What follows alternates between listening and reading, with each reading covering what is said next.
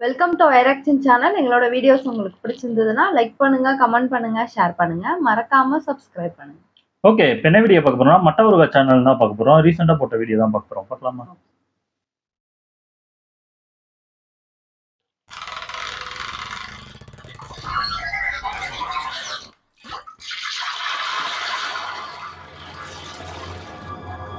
ஊர்கா.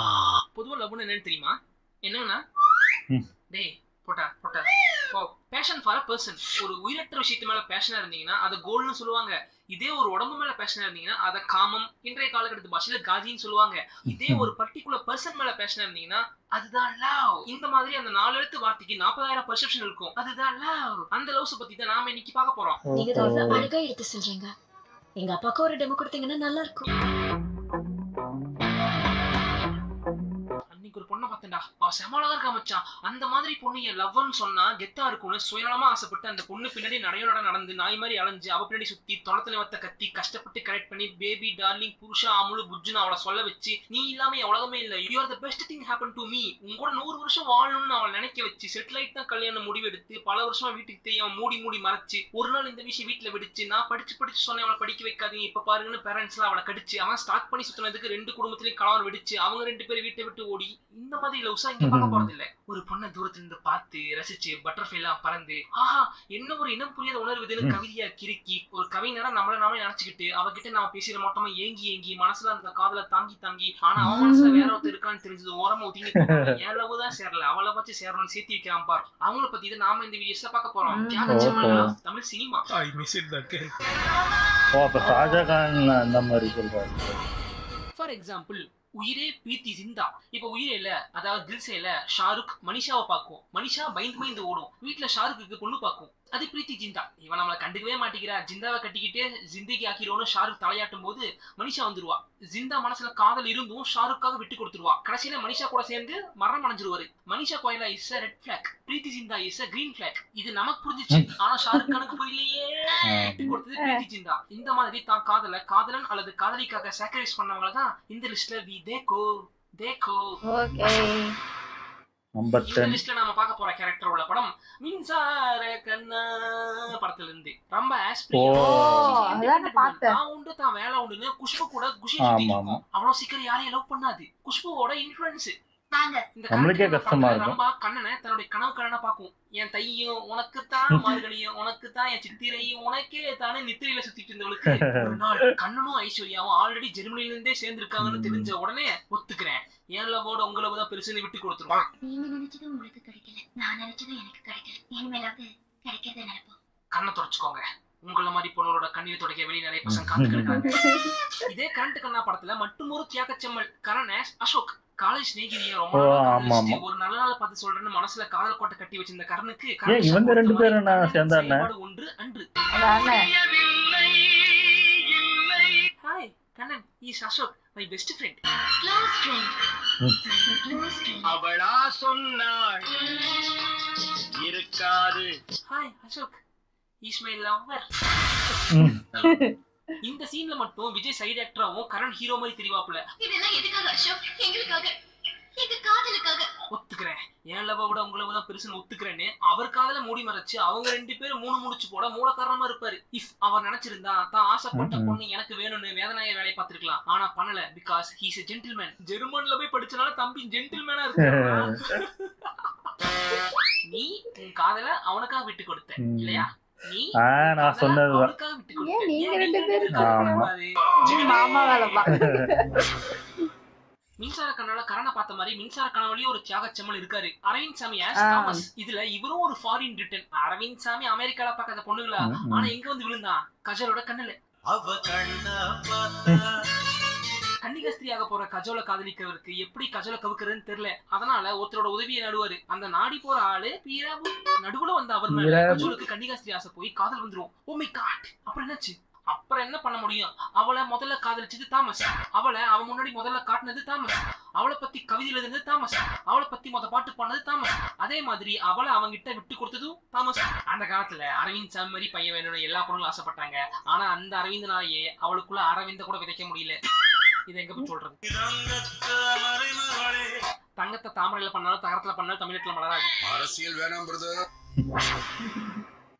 லாஸ்டா காஜலோட காதல. பார்த்தோம். இப்ப காஜலோட காதல பார்ப்போம். இந்த ஆம்பளைகளுக்கு பூனைக்குட்டி தான் முக்கியம். வேற ஒரு பூனைக்குட்டி கிடைச்சா அதுக்கு பால் வைக்க போயிருவானுங்க ஆண்கள்னாலே அருவருப்பா இருக்கு சார்னு அட்வைஸ் பண்ணிட்டு இருக்கவர் காஜல். எங்களுக்குள்ள பிரச்சனை சேர்த்து வைங்க மேடம் வர கப்பிள்ஸ பிரிச்சு வைக்கிற வேலையை ஃப்ரீயா பாக்குற காஜலுக்கு உன் ஆணவத்தை அடக்க ஒருத்த வருவாண்டி ம். அடுத்தவன் புருஷன் மேல ஆசை வந்து அவஸ்தைப்பட போறடின்னு எவன் சாவோட்டோன்னு தெரியல? அப்படியே நடந்துருச்சு.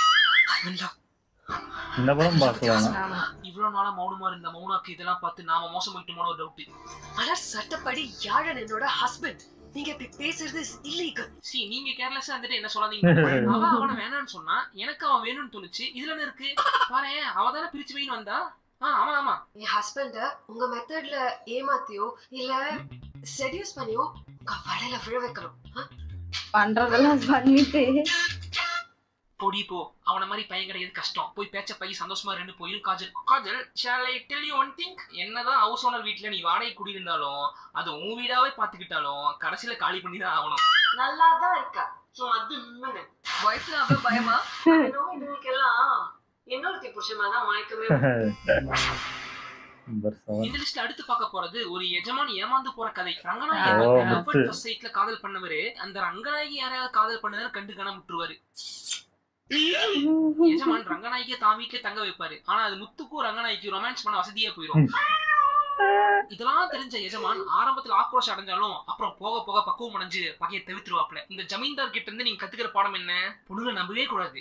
இல்ல நீ ஒரு பொண்ணை லவ் பண்ற. சரி ஆனா அந்த பொண்ணு யார லவ் பண்றான்னு முத தெரிஞ்சுக்கோ புரிஞ்சுக்கோ. அடுத்த நபர் ஆவுடையப்பன் என்கிற ஆம்ஸ்ட்ராங். ஓஹோ இவர் பிரசாந்த் படம். இவரும் ஒரு அமெரிக்கன் ரிட்டன் வெல்கம் அமெரிக்கால இருந்து வந்தவர் அழகான ரம்பாவை பார்த்து கல்யாணம் பண்ணிக்க ஆசைப்படுவாரு பொண்ணை பார்த்து பேசி வீட்ல விருந்து வச்சு வெத்தல் தட்டை மாத்தி விழா கோலம் பூண்ட அப்புறம் பூகம்பம் வெடிக்குது. ரொம்ப ஆசைப்பட்டது ஹீரோ மேல இவர் மேல இல்லைன்னு.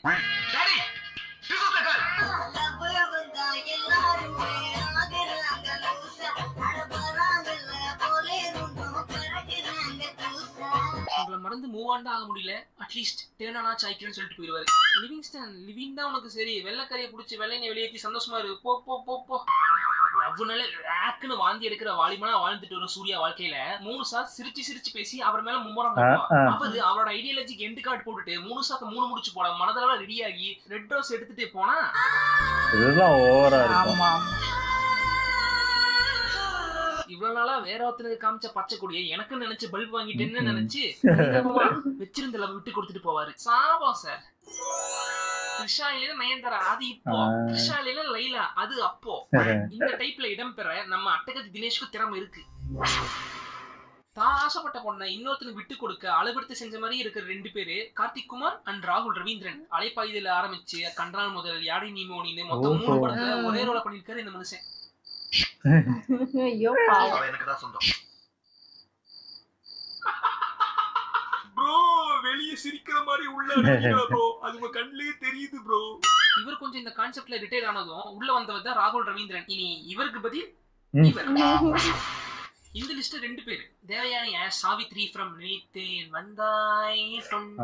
விஜய் ஒரு பையன் மேல அவ்வளவு சீக்கிரம் லவ் வராது. ஆனா வந்துச்சு கெட்டுச்சு. தேவயானியை பொண்ணு பார்க்க. விஜய் வருவாரு. தேவயானி விஜயை பார்த்த அப்புறம் எப்ப என் கழுத்துல மூணு முடிச்சு போடுவீங்க? முழுகாம ஆக்குவீங்க ரேஞ்சுக்கு ஆசையை வளர்த்துட்டு சுத்தும். கடைசியில கல்யாணம் ஆகிறதுக்கு கொஞ்ச நேரத்துக்கு முன்னாடி தான் தெரியும் விஜய் ஆசைப்பட்டது தான் மேல இல்ல தங்கச்சி மேலன்னு.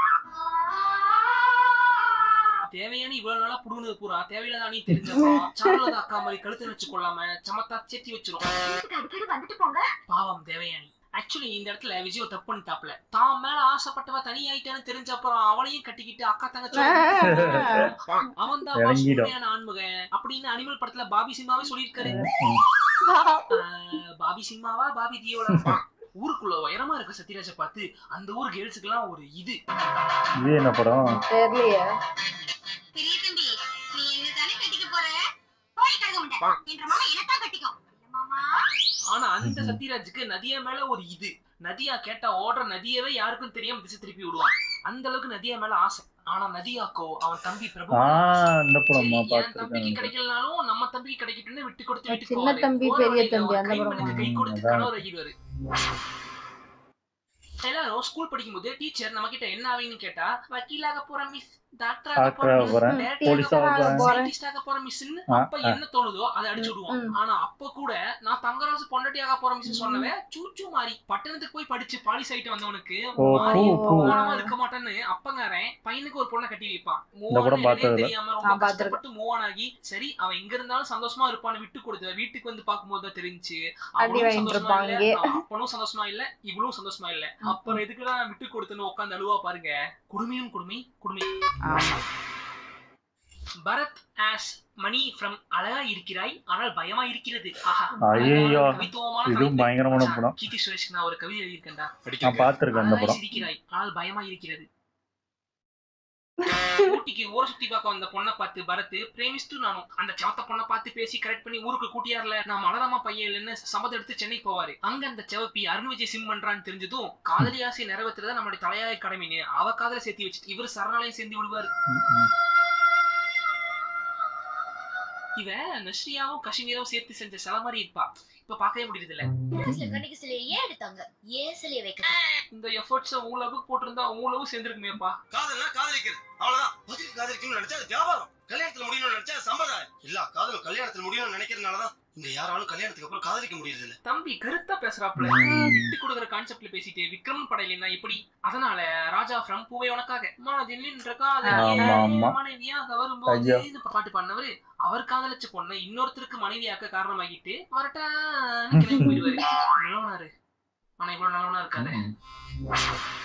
அசோக் ஃப்ரம் ஷாஜஹான் ஒரு நல்ல படம் பார்த்த திருப்தியோட விட்டுருவோம். ஆனா இந்த climax பார்க்கும்போது ஒவ்வொரு உரலி வச்சு மாதிரி உருத்துறவே இந்த. படம் தான் ஃபர்ஸ்ட் அழுத படம். இவர் அழுவது இல்லாம நான் எல்லாரையும் No, no, அழாதுண்ணே. எயித்தோ நைன்த்தோ படிக்கும் போது நினைக்கிறேன் பார்க்கும்போது. சாபம் சார் யாரை விட்டுச்சு? எத்தனை பொண்ணுங்களுக்கு வீட்டுக்கு தெரியாம கல்யாணம் பண்ணி வச்சு பெத்தவங்க சாபத்தை வாங்கியிருப்பாரு? அண்ணா நான் ஒரு பொண்ணை லவ் பண்றேன். ஆனா ஆனா அதுக்கு அந்த பொண்ணோட புருஷன் ஒத்துப்பானு பாவீங்களா?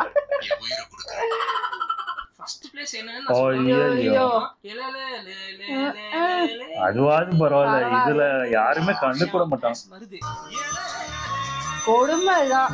இயற்கை இல்லை. ரொம்ப கொடுமையான ரொம்ப இறுக்கமான கிளைமேக்ஸ் காட்சி ஒன்று. இந்த மாதிரி ஒரு படம் வரவே வராது. இந்திய சினிமா வரலாற்றிலேயே ஃபர்ஸ்ட் டைம் ஒரு காதலனும் காதலியும் சேரும்போது ஏன்டா அவங்க ரெண்டு பேரும் ஒண்ணு சேர்ந்தாங்க. பீஸ் பீஸ் பீஸ் ஏன்டா வந்த நீ செத்தே போயிருக்கலாம்டா அப்படின்னு தோணும். அப்போ அந்த படம் ஓடல. இது டிவில தான் நல்லா இருந்துச்சு. நிறைய பேர் அதுக்கப்புறம் தான் இது பண்ணாங்க. இவங்களை தியாக செம்மல்கள் ஆஃப் தமிழ் சினிமா என அன்போடு அழைக்கப்படுவார்கள். இரு இதயம் ஒரு இதயமானதே.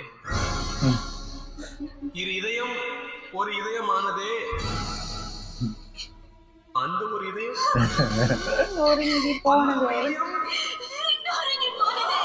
இததான் கிக்ல சந்தானம் அன்னைக்கே சொன்னாப்புல. கால்ல ஈரம் போடாம கடலை கூட தாண்டிடலாம். ஆனா கண்ணுல ஈரம் போடாம காதல தாண்ட முடியாது. செட் ஆகல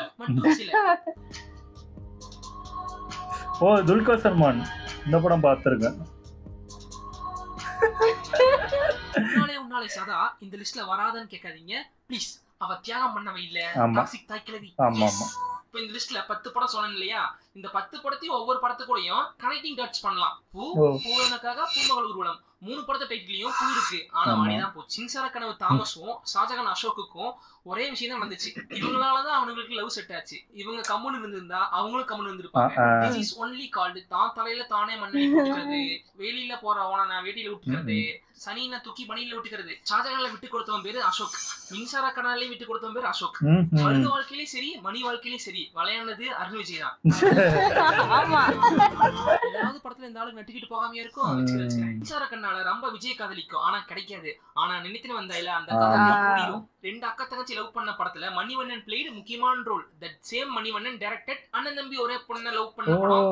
பெரியத்தம்பி. அசோக் ஆவுடைய அப்பன் அரவிந்த் தாமஸ் எல்லாருமே ஃபாரின் ரிட்டன் விட்டு கொடுக்கவே. வெளிநாட்டுல இருந்து வருவானுங்க.